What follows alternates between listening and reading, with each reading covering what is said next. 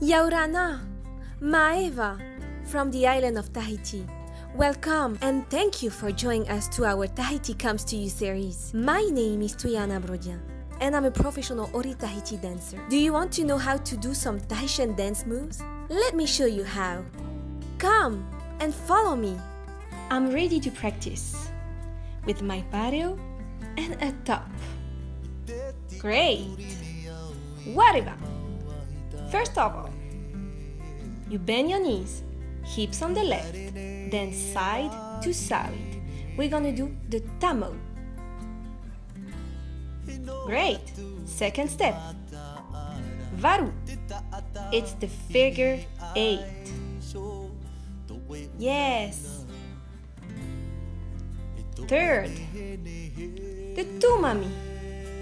You draw a big circle with your hips and your knees. Don't forget to stay bent. Fourth step, fa'arapu. It's a circle that you use with the hips. The fifth step, afata, the box. You do side, front, side, back. Come on. And that's it. Good job. I'm ready to practice. Follow me.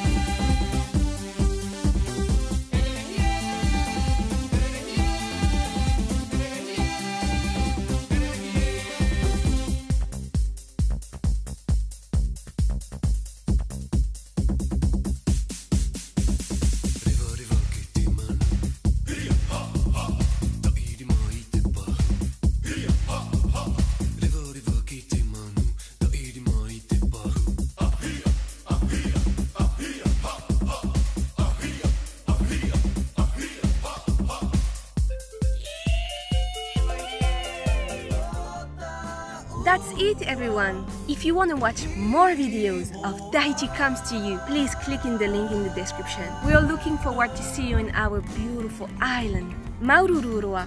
Parhean eh. Nana.